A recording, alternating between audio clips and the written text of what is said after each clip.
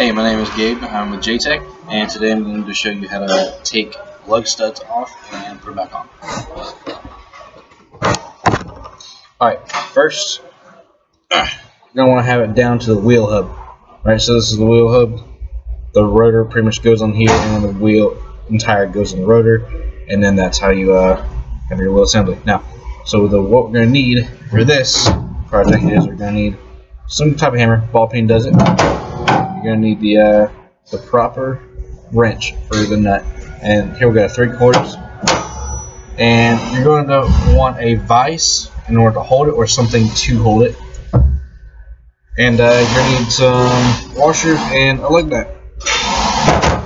You don't need all lug nuts, but one lug nut works just fine.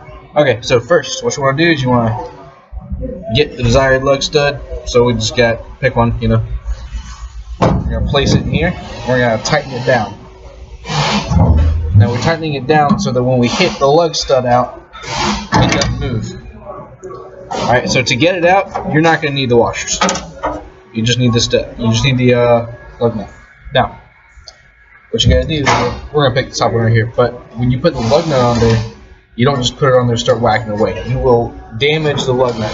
So what you want to do is you want to make it as flush as possible with the, as you can see here, pretty flush, very flat, shape on the side. Alright. Now, I'm going to take the ball peen hammer and knock it out.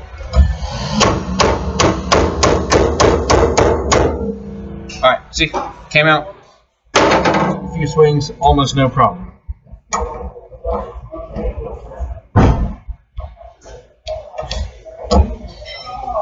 Take the lug nut off, and then you got your uh, lug stud right there. Looks like a big old bolt without the head. Rinse and repeat that until all your lug studs are off. Now, in order to put them back, you just pop it in there. Now we're going to use the washers. I'm going to place the washers on the threaded side of the lug stud. Now your lug nut has got a rounded part and a flat part. Okay, this rounded part's going to go up, the flat part's going to go toward the uh, toward the washers in order to make them flush.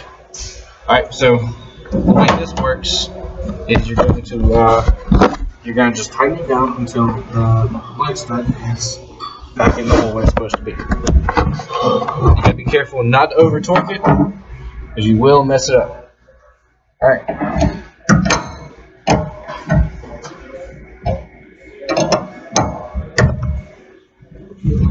Let's tighten this up a little bit more.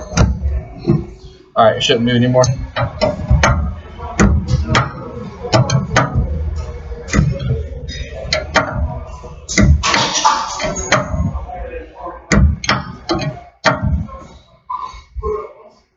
It's about there.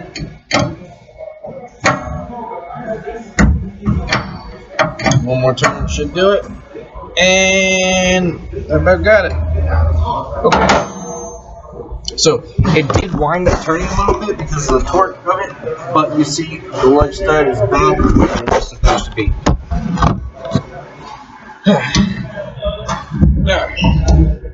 Alright. And that's how you how you change a uh, lug stud. Thanks for watching.